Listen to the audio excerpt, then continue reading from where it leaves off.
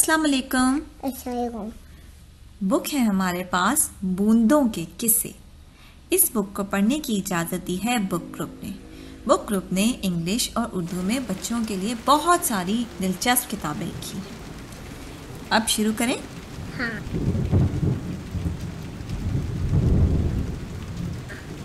बूंदे क्या होती हैं? बूंदी होती रेन ड्रॉप रेन ड्रॉप्स और किस्से होते हैं स्टोरीज चलो देखें कि ये रेन ड्रॉप्स के पास क्या स्टोरीज है हमें सुनाने के लिए।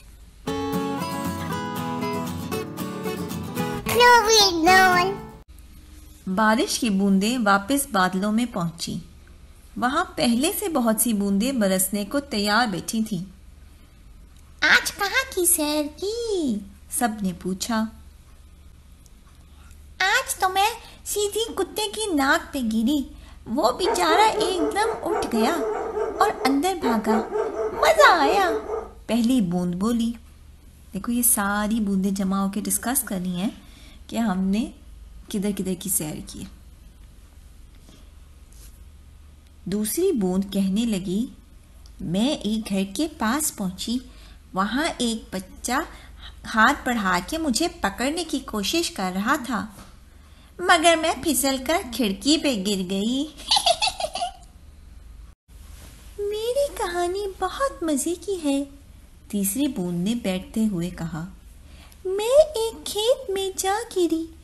वहाँ एक किसान भैंस के पीछे भाग रहा था। मुझे देखकर खुश हो गया। क्यों खुश हो गया होगा?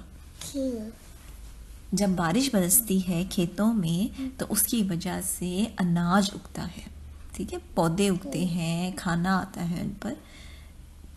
तो उसलिए इसलिए किसान यानी फार्मर देख के खुश हो रहा है कि अब उसके खेत को यानी उसके फार्म को पानी मिलने लगा ठीक?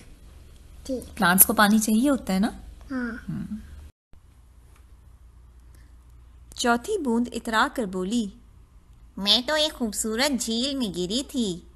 वहाँ हम सब बूंदों ने खूब शोर मचाया। मिलकर गाना भी गाया। पानी में बहुत से बुलबुले भी बनाए।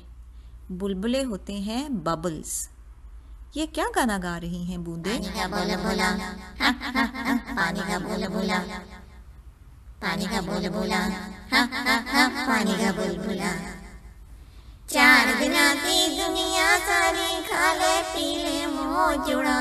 खा ले, पी ले मोह जुड़ा। चलो फिर चलते हैं। सब बूंदें फिर से बरसने लगी।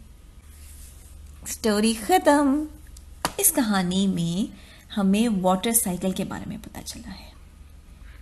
यानी दुनिया में कैसे बारिश बरसती है और किस तरह बादल बनते हैं। आप समझना चाहती हो वाटर साइकिल क्या है? हाँ। बूंदे बारिश की शक्ल में जब नीचे आती हैं तो कुछ खिड़की पे गिरती हैं, कुछ हमारे ऊपर गिरती हैं, कुछ ज़मीन में खेतों पर गिरती हैं, उनकी मदद से अनाज उगता है।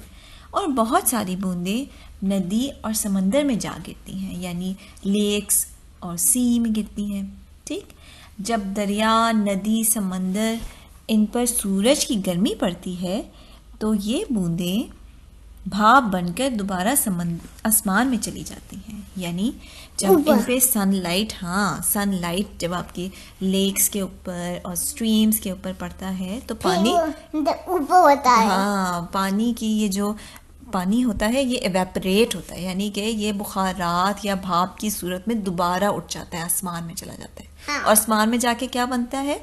रेन ड्रॉप्स पे से। रेन ड्रॉप्स इकट्ठे होके फिर क्लाउड्स बना देते हैं यानी बादल की शक्ल इख्तियार कर लेते हैं। हाँ।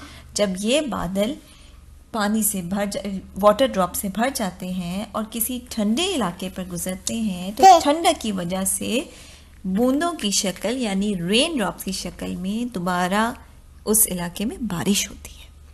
ठीक है? ठीक है। समझ आई? कैसे हाँ। होती है बारिश? कैसे हमारी एक वाटर साइकिल पूरी दुनिया में चल रही है? हाँ। ठीक है। ये अल्लाह ताला ने निज़ाम बनाया है ताकि पानी दोबारा दोबारा रिसाइकल होके आपको मिलता रहे। हम्म हाँ। और कौन से मौसम में बहुत ज़्यादा बारिश होती है? um, बरसात के मौसम में। हाँ। ठीक है। और आपको बारिश में क्या करना अच्छा लगता है? Hmm, हम्म आप भी हमें बताएँ आप लोग बारिश में क्या करते हैं बारिश को किस तरह एंजॉय करते हैं बारिश जब बरसती है तो आप कुछ ख़ास पकवान पकवाते हैं अपने मामा से कह के सब कुछ हमारे साथ शेयर करें फिर मिलेंगे. For more exciting stories, like, share and subscribe. और दिलचस्प कहानियों के लिए हमारे YouTube चैनल पे जाएँ।